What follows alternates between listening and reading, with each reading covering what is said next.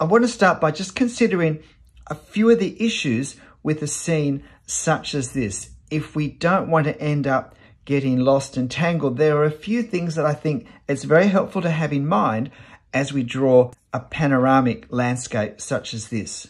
So I just want to outline some of the points now and then you'll be able to see me put them in action when I draw.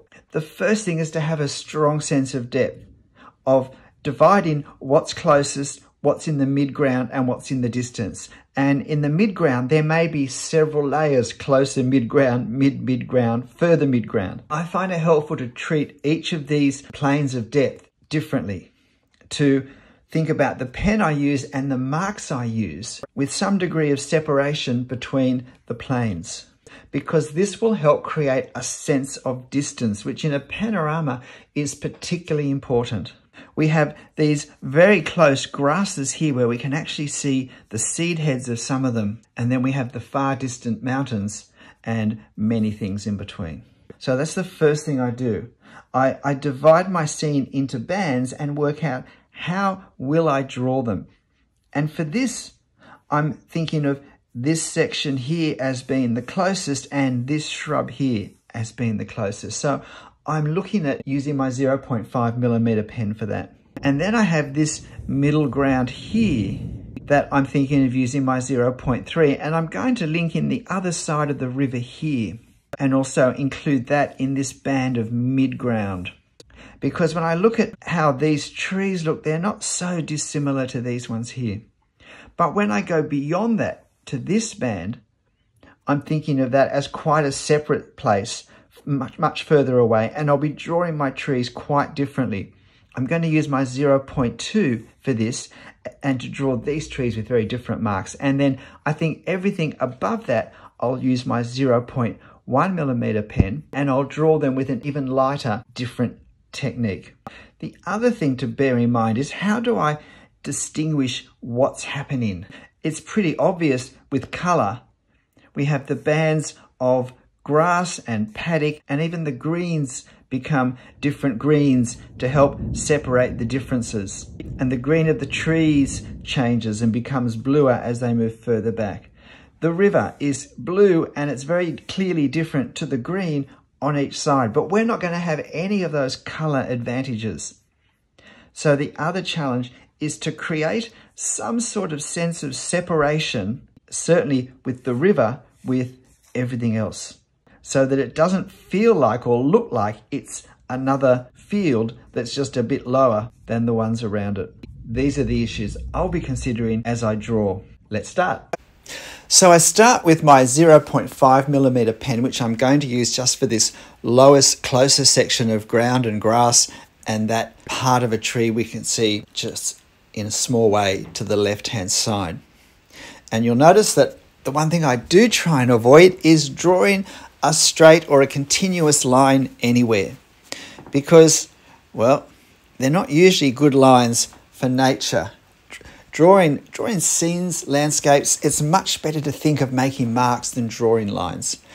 Occasionally lines are helpful or very short lines, but certainly long continuous lines usually end up creating an unnatural cartoon-like effect, which is fine if we want to create a cartoon effect, but it's not so great if we're going to want something a little more realistic. So I do this closest darker section first, not because it's important or significant or it needs to be done first really for any reason, except that it establishes the dark values and that's going to be helpful.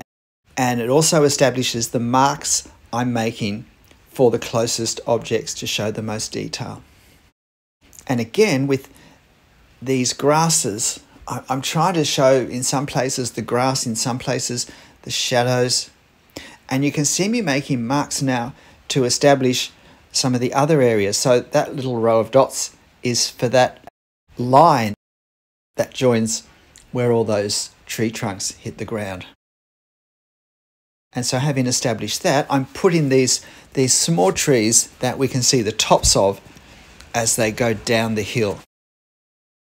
And then put in the detail of these fences. Now, I'm not going to try and draw the wire in the fence we can barely see it in the photo and the size of the, the thickness of the, the wire in relation to the thickness of the post is such a small amount that we can't get that scale correct. If I were to draw a wire, it would look as thick as the post. So sometimes it's better just to leave the detail out. That's a bit of thunder that you can hear in the background. So I hope we get to the end of this.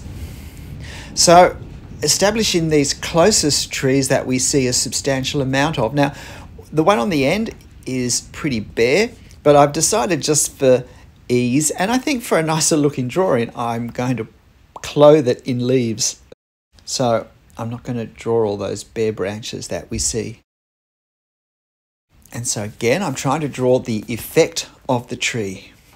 I'm really looking at the, the value, the tonal value of this. I'm trying to imagine if I took all the colour out, how grey would these trees look in relation to each other and how can I represent or achieve something of the effect of those greys with line work, with hatching and cross hatching. And so that tree behind the ones in front is a darker tree. Green is a darker colour, so I want to allow for that. And I realize I need to put in the far bank of the river at this point because it attaches to the tree. And I need to put in the near bank as well, which I didn't position quite as well as I would have liked. Should have been just a fraction higher, but I suppose all it does really is make the river look a bit wider. Now, I hadn't worked out particularly how I was going to do the river. I, I did a few experimental marks uh, before I started on a scrap of paper, but I wasn't convinced they were going to be the best way ahead. So, trying to establish a clear river bank on the far side where we have some nice shadows from where the water has eroded into the, the soft dirt of the bank is helpful.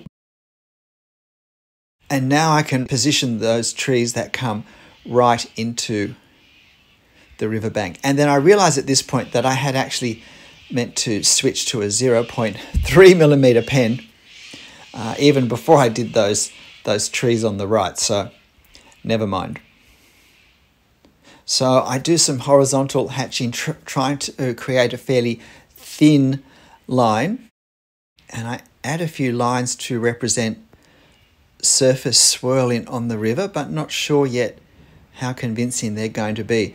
Now, I decided to draw some cows. These are one of those double or nothing things. Um, they either look great or we wish we hadn't drawn them. And so I kept I kept switching down pens. I started with a 0.3, switched to a 0.2, finished up with a 0.1 because there's no way I could draw the legs and whatnot with anything thicker.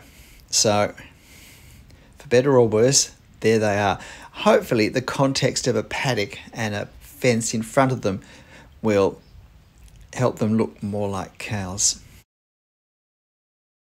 And again, now I'm positioning, just trying to get a sense of what's what.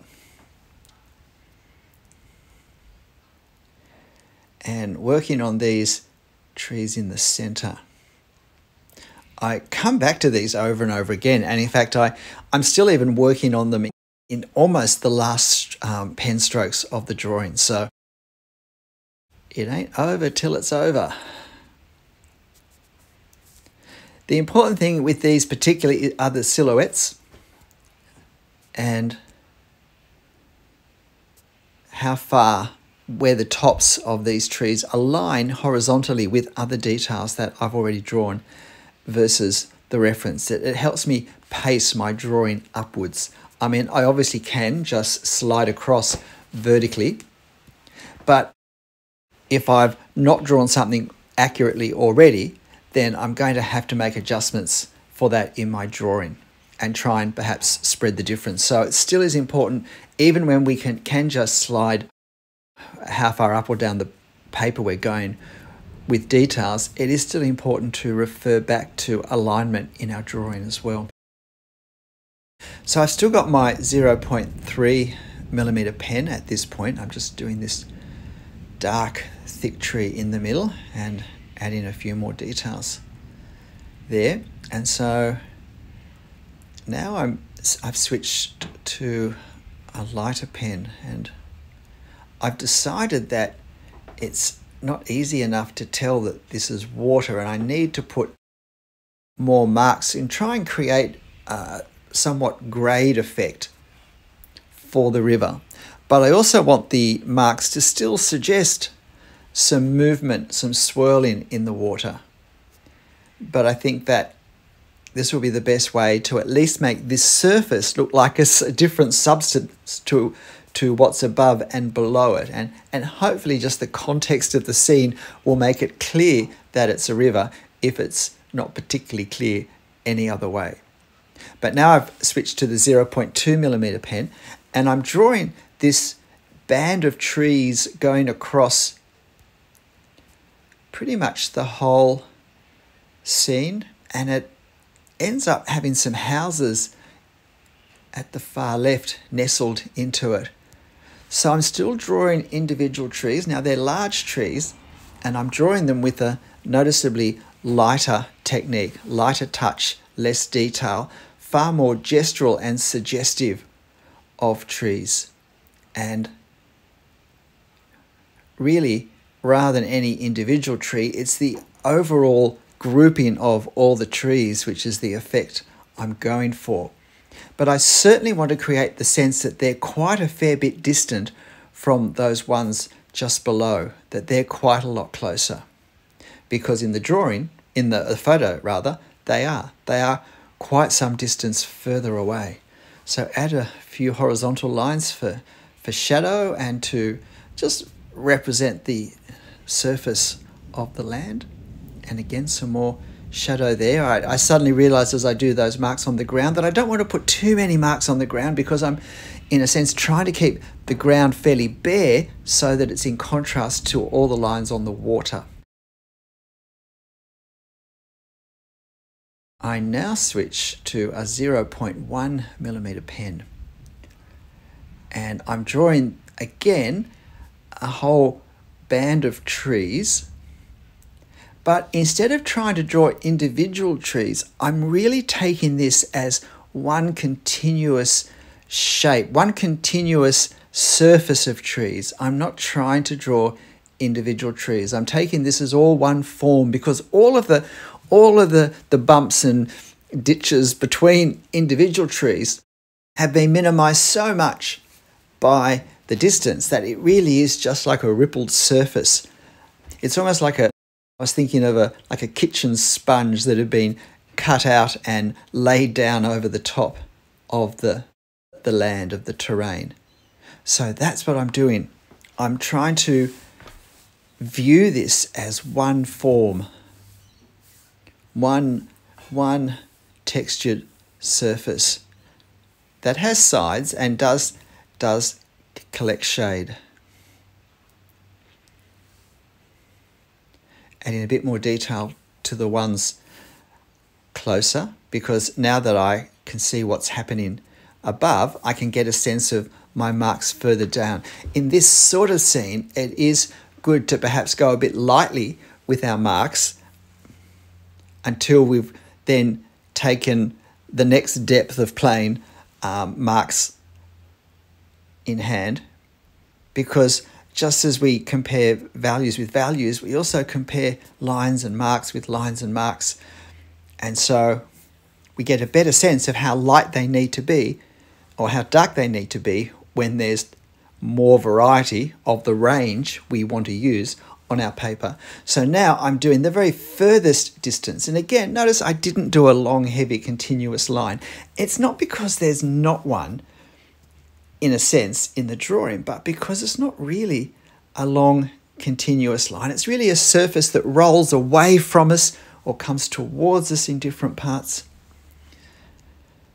And again, I'm trying to get a lighter feeling for that than I created for the, the surface of trees on the, on the ridge below that, visually below that. And you see me now putting a lot more lines, a lot more hatching on these centered trees just to darken them up and unify them more into a, uh, a solid band. And there's actually a fence down here I realized that I hadn't done, so that's a nice little detail to get in.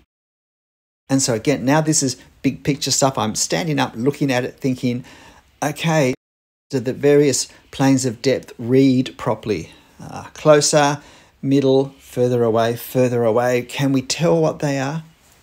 And sometimes by giving a, a uniformity to the line work across things that are at the same depth and of the same sort of surface can just make it actually easier for us to distinguish what those marks are for and where they are and what effect they're creating than other ones around them above or below.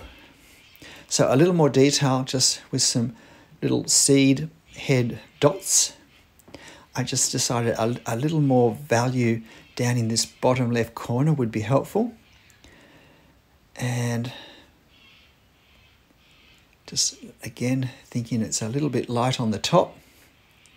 So just revisiting these marks now and doing the fine tuning, thinking, do we have enough being told about the topography of these mountains through these marks without putting so many marks on that they get too dark. If they did get too dark, then we'd have to go darker for the ones beneath. So now we're just putting those last lines on. And I think here is our Northern Rivers rural landscape. Northern Rivers, New South Wales, Australia. G'day, I'm Stephen Travers. Well, what do you think? Can we see the landscape in all the marks? Can we get a sense of depth of distance? What do you think? Well, why don't you have a go drawing this yourself? Of course, you'll find the reference photo on my channel community page. Landscapes are a great subject to do sometimes because they certainly challenge us in our handling of marks and the control and the intention, and then developing technique for different objects at different distances. There's a lot of juggling when we do a landscape that, that's as far back to the horizon as this one. So why not give it a go? It's a lot of fun. But look, whatever you draw and however you draw it, make sure you have fun. I'll see you next time. Bye.